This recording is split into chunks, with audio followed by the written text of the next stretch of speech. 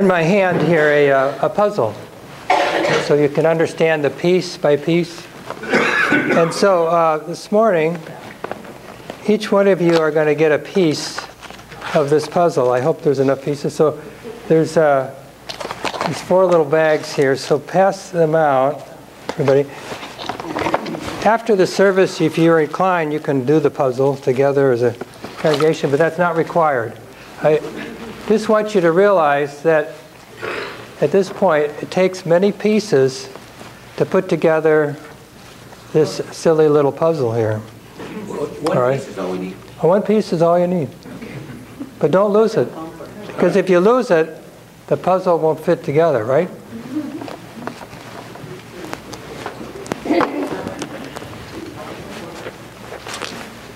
Okay, don't try and figure out what it is, all right? Because you won't. and it's not a, it's nothing big deal, you know. This puzzle came from the dollar store, so don't, know. We're not deep into this thing. All right, All right. I'm going to ask Mark, you can keep that as a souvenir. Um,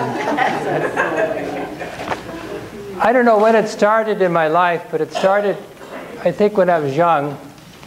Um, I enjoyed putting together puzzles. You did that? Um, you know, started with those little 10 figure ones, you know, that had the little thing on it that you pick up. And especially if you go through this again with kids, you start with the puzzles. And this is sort of a good feeling when they all, it all comes together.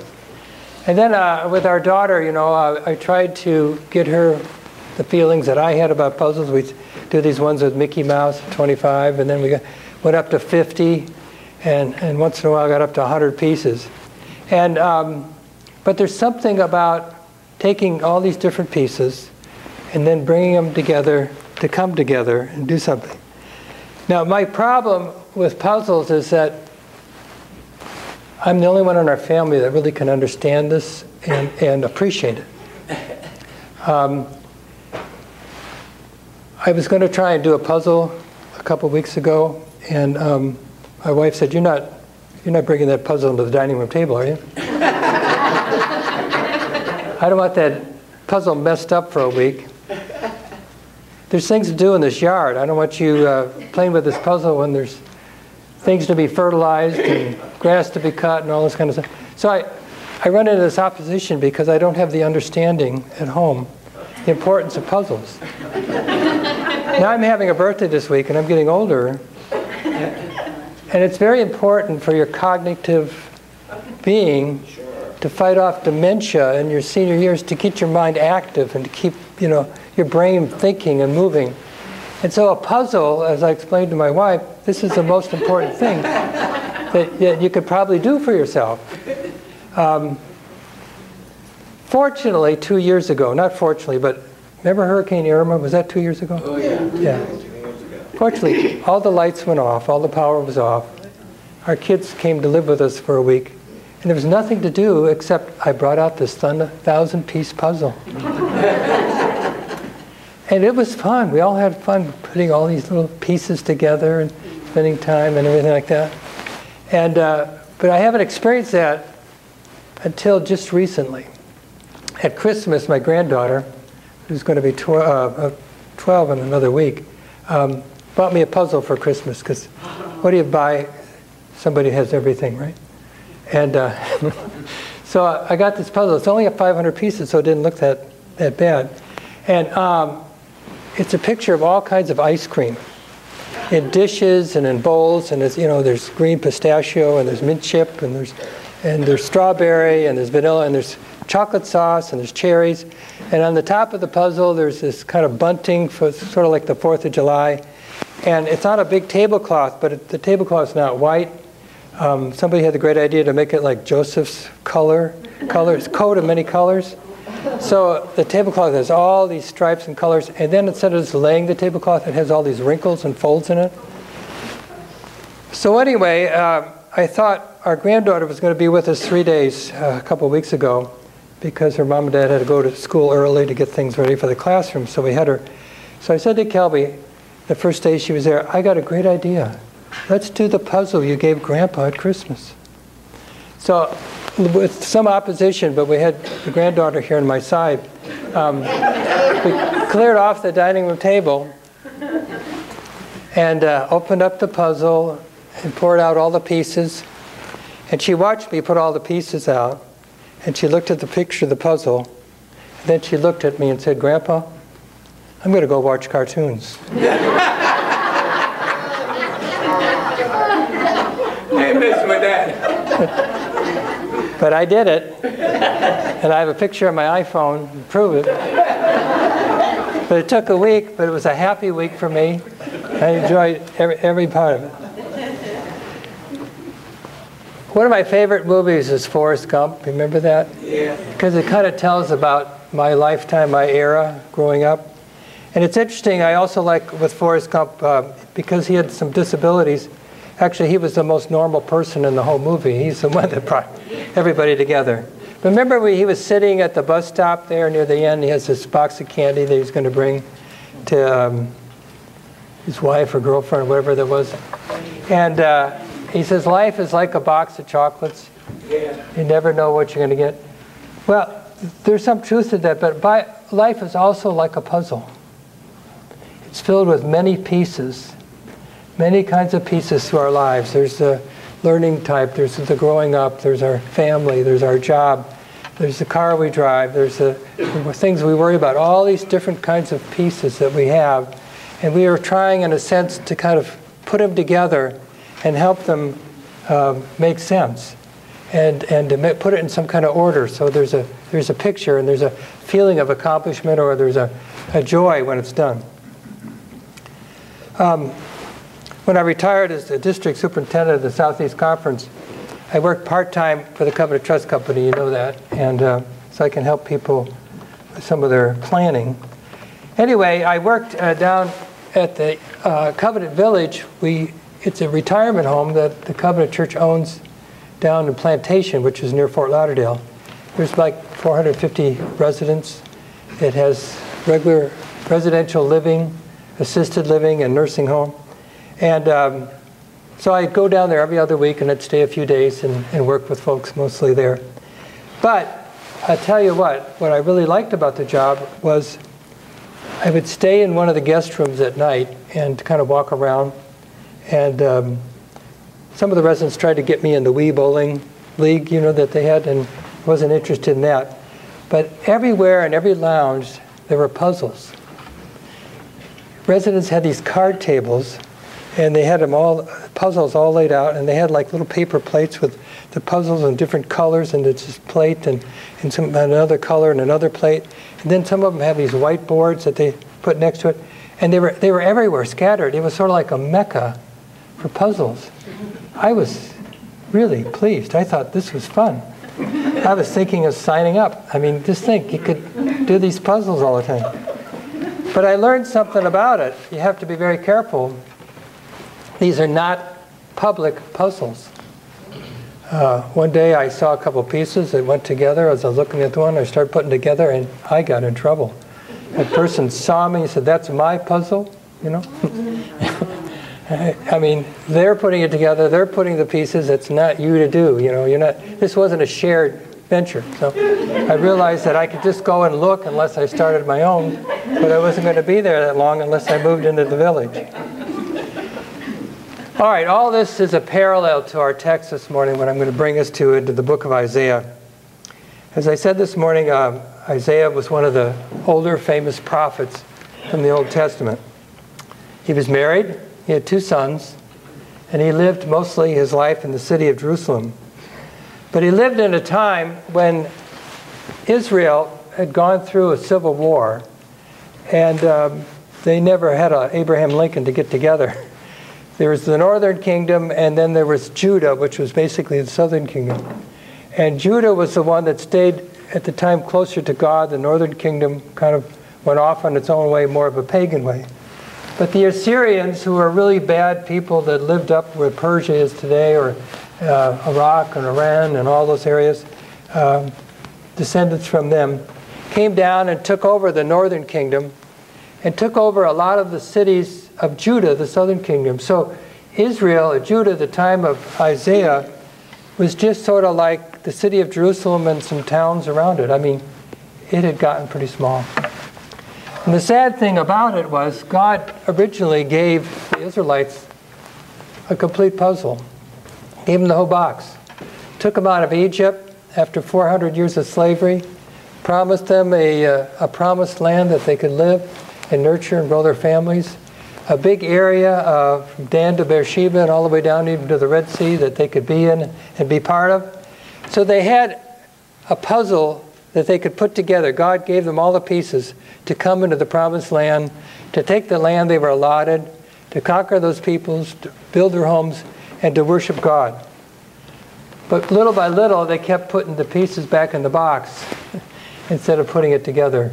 And now, at this particular time, they've gotten pretty small just because they've disobeyed God.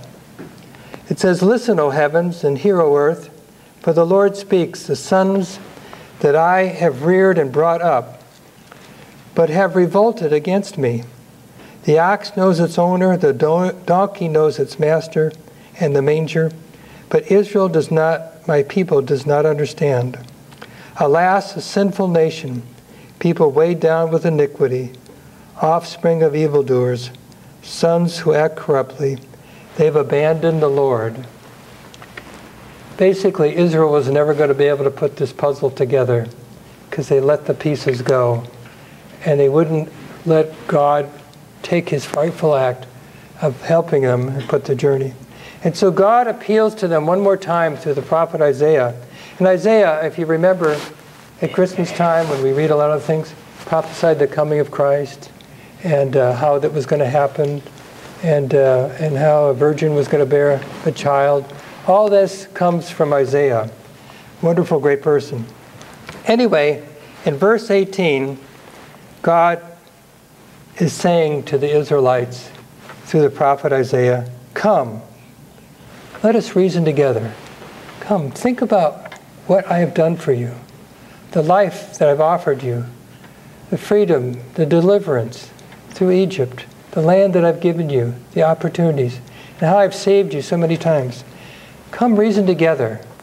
Think about this, what I have for you, and be part of, uh, part of our kingdom together. Let's put this thing together. Let's put the pieces together and make the journey work. When I was 20 years old, my father passed away at the age of 53. And um, my mother remarried two years later a man by the name of David Nyron. Um, he was 66 years old and never been married. And he said he never found the right girl or woman or older lady at this time. Anyway, um, just before he had gotten married, um, he finally gave up of ever getting married and he had bought a, had a deal years ago, a, a diamond ring that he was going to give to his bride, whoever that was going to be. And he figured by this time in his life he never was, so he sold it. and then uh, and then he met my mom. So anyway, David was a wonderful Christian man. And I remember one day he and I were talking, and he, he wanted to tell me the time that, uh, how he became a Christian. And he said, There's a verse in Isaiah that just spoke to me, just reached out to me, and that was the moment that I came to God. And it's this verse, verse 18, where God speaks to the Israelites Come now let us reason together. Where God is actually saying, even to us, think now what I've done for you in the death and the resurrection of Jesus Christ. I've made the possibility of, of your sins to be forgiven. I could bring you into eternal life. And even though Satan is still rampant and evil is still here, and there's a lot of things in the world that we don't like, God has promised that He will end all that. But right now, He's promised us to give us strength. So, in a sense, all of our life are different pieces of a puzzle. But when we put God in that mix, the puzzle will come together and make sense. There are five ways to approach a puzzle. You know, I'm not a long-winded preacher, so these, will be these will be short. But as we look at life and as we look at things, there's five ways to kind of, and neat, none of them are wrong. but we kind of take these different approaches in order to make it. The, the one approach is the, the strategist, and that's me. Uh, the first thing I do with that 500 puzzle that my granddaughter went in the other room and watched cartoons with, um, I look for all the end pieces, and I do the outline. I mean, that's that's where I start. Once you get that, you kind of feel like, hey, you're on this road. It's going to come together. You can start putting the little pieces together. So I strategize, you know, I got to get all these pieces and I lay them all out and anything with an end. And there's some pieces that really don't look like an end, you know, and they just have a little, and they, they'll trick you. And then another thing that happens, we, below the dining room table, which is now nice and cleaned up, um, we have this multicolored rug. and when you're doing a puzzle and your sleeves bump it a little bit, sometimes you're looking all over for a piece to fit in there and it's down there on the floor you know and you gotta you got to go down to get it. Anyway that's the first way to approach it. The second is to be a hunter. The hunter is you take all the green pistachio ice cream deal and put all the green together but then you try and keep it separated from the mint chip which looks the same you got to look at and then there's uh, the ice cream that has the um, cherries on top, the little sundaes. And so you got to kind of keep that separate. And you put that in a pile.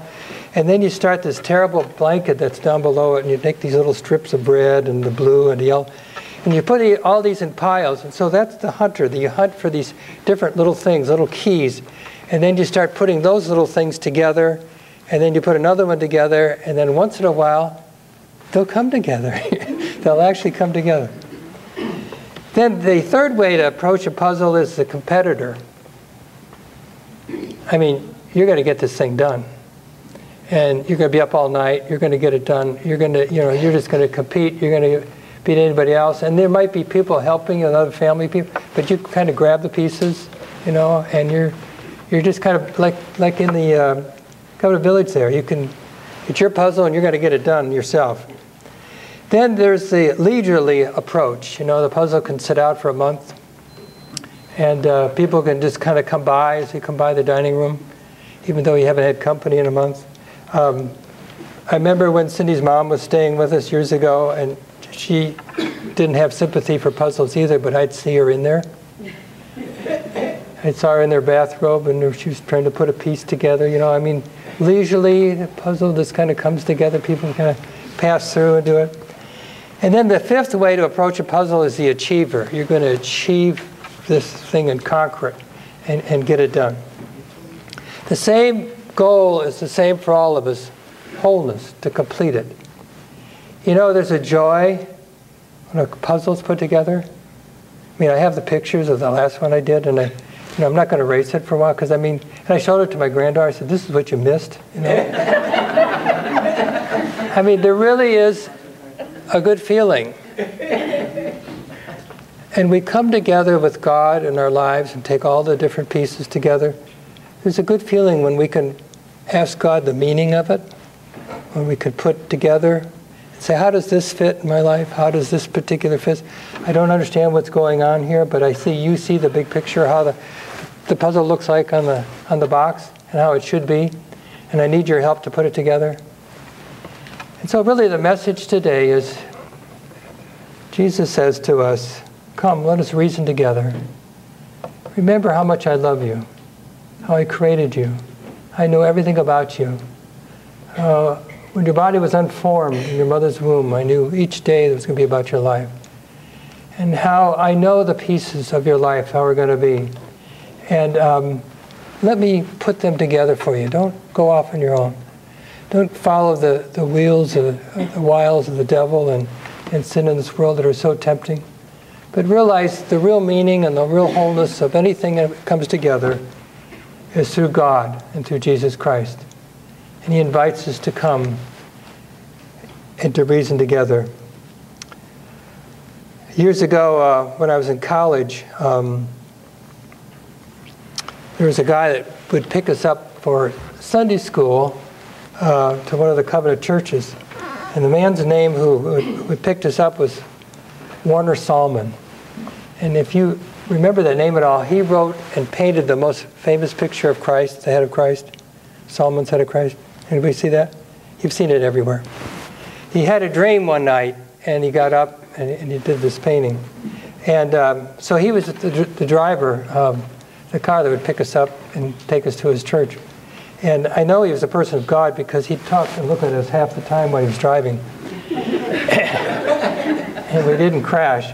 Anyway, he did a painting of Jesus standing at, at a door. It's another famous painting. And the doorknob, uh, there isn't one. It has to be opened from the inside. And it says, Behold, I stand at the door and knock, just waiting for you to open up, meaning, come, let us reason together. I want to be a part of your life. I want to be a part of the puzzles and all the aspects that you have that you're trying to put together. Let us pray. Heavenly Father, we thank you for your, your word. We thank you for the prophet Isaiah who lived so long ago. For his message and the difficulty of proclaiming it and in this world, we pray that we'll continue to pray and proclaim the message that you've given to us that you love mankind, that you care about them. You hurt when we've gone away. You've hurt when we've taken the puzzles that, of life that you've given to us and refused to put them together, or just take them back and put them back in the box and don't look at them. Lord, help us to be people that come to you and to understand that you are the meaning, the totality, and the purpose of our own lives. Thank you, Lord, for loving us and caring for us. In your name we pray. Amen.